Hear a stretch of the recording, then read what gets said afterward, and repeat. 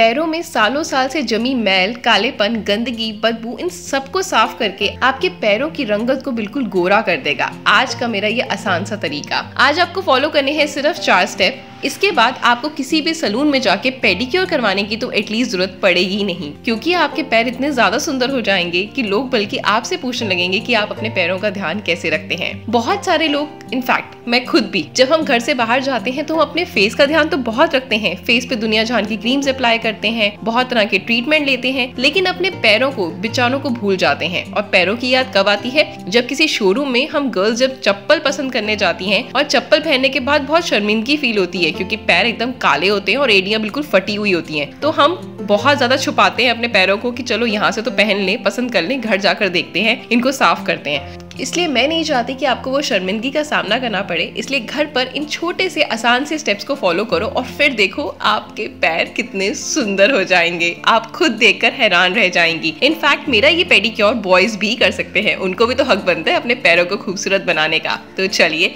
Video start करते हैं। लेकिन वीडियो स्टार्ट करने से पहले, आप अगर मेरे चैनल पर नए हैं तो चैनल को सब्सक्राइब वीडियो को लाइक और शेयर करना बिल्कुल मत भूलिएगा। क्योंकि गर्मियों में सन टैन की प्रॉब्लम पैरों में बहुत ज़्यादा आ जाती है। हमारे पैर बहुत भद्दे हो जाते हैं तो उन भद्दे पैरों को हमें बनाना है खूबसूरत। जिसके लिए आपको करना है वीडियो को जमकर शेयर और साथ में बेल आइकन को ज़रूर प्रेस करें ताकि मेरे चैनल पर आने वाला सारी वीडियो का नोटिफिकेशन आपको मिल सके। चलिए, जानते हैं इन स्टेप्स को फॉलो करने के लिए हमें किन किन चीज़ों की ज़रूरत है। सबसे पहले पेडिक्योर को स्टार्ट करने से पहले हमें क्लिनजिंग करनी है, यानी अपने पैरों को क्लीन करना है। इसके लिए आप छोटा सा टब ले लीजिए, उसमें आप गर्म पानी डाल लीजिए। गर्म पानी डालने के बाद आप इसमें एक चम्मच बेकिंग सोडा, यानी मीठा सोडा, और साथ में तीन चम्मच नमक डाल लीजिए। साथ में आप इसमें थोड़ा सा शैम्पू भी ऐड कर लीजिए और उसको अच्छे से हाथों से मिलाकर झाग बना लीजिए। अपने पैरों को कम से कम आप इसमें 10 मिनट के लिए डिप करिए, क्योंकि जो बेकिंग सोडा होता है, वो आपके पैरों की सारी टैनिंग को बहुत बढ़िया तरीके से रिमूव करता है और नमक आपकी जितनी भी काली स्किन हो गई है, उसको हटाकर आपकी स्किन के टेक्सचर को सुधारता है। बेसिकली ये दोनों जो है, आपके पैरों की सारी जितनी भी कालक और गंदगी जमी है ना, उनको एकदम से मैल को निकाल देगा। तो आप इसको दस मिनट के लिए डिप करें। उसके बाद आप अपने पैरों को पोंछ लें। अब बारी आती है फुट स्क्रबिंग की। फुट स्क्रबिंग के लिए हमें बनाना कैसे है? पहले आपको एक खाली कटोरी लेनी है।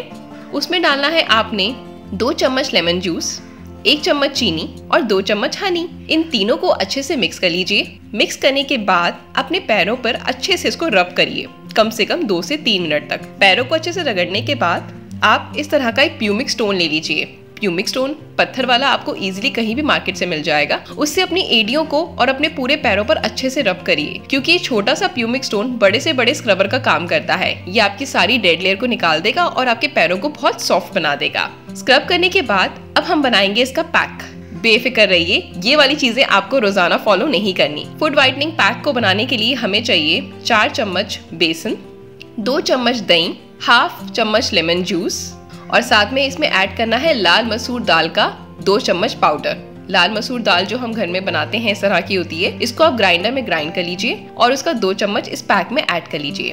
अब इस पैक को अच्छे से मिक्स करके अपने पूरे पैरों पर अच्छे से लगा दीजिए। पैर जब सूख जाए, अच्छे से जब ये पैक सूख जाए तो पानी की सहायता से इसको धो दीजिए। धोने के बाद अब बारी आती है हमारे लास्ट स्टेप की। लास्ट स्टेप में आपको कोई ज़्यादा चीज़ें अप्लाई नहीं करनी। इसके लिए बस आपको एक छोटी सी डब्बी लेनी है। डब्बी में आपने एक चम्मच वैसलीन डालना है और उसमें डालना है आधा लेमन इनको अच्छे से मिक्स करना है और कंटेनर में स्टोर करके रात को सोने से पहले आप इस मॉइस्चराइजर को डेली अप्लाई करें और ऊपर से सॉक्स पहन लें। आधे घंटा सॉक्स पहने उसके बाद उतार कर सो जाएँ। आपके पैर मजाल है कि कितनी भी गर्मी हो फट जाएँ, कितनी भी दरारें होंगी वो भर जाएँगी। आपकी स्किन कितनी काली होगी झुरियाँ आ चुकी होंगी पैरों पे वो भी दूर हो जाएगी। क्योंकि नींबू जो होता है, आपकी स्किन लाइटनिंग और ब्राइटनिंग का काम करता है और वैसलीन आपकी पुरानी से पुरानी पड़ी हुई दरारों को बहुत जल्दी हील करता है। वैसलीन आपने कौन सा लेना है? पेट्रोलियम जेली वाला। तो बस, इन चार स्टेप्स को फॉलो करें और अपने पैरों को अपने फेस जैसा खूबसूरत बनाएँ। और ऐसे ही मेरी वीडियोस को बहुत सारा प्यार दें। कैसे करेंगे? लाइक और कमेंट करके। मैं मिलती हूँ आपसे नेक्स्ट वीडियो में। Bye take care and stay healthy love you all